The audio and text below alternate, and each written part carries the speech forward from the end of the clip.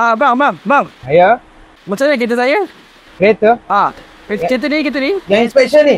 Nasib baik datang buat inspection bos. Kereta tak boleh lah.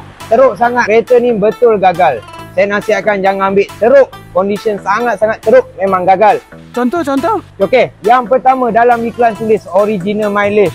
Dalam kereta 80,000 dekat sistem kita check balik previous sistem servis mileage original 120,000 50,000 lari. Kita pun tak tahu previous owner ada buat major service ke tak.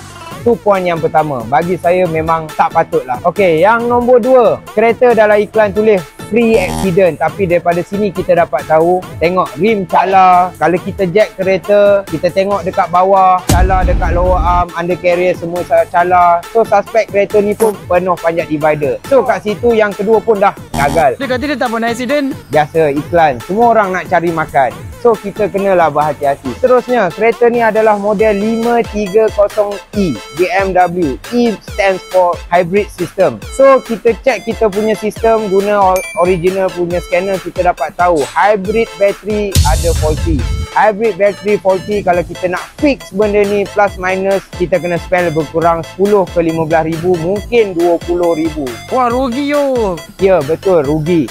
So fikir-fikirkanlah. Kereta memang cantik, memang sedap bawa tapi macam mana pun kita sebagai pembeli dan bakal pengguna kita kena berhati-hati dalam membeli.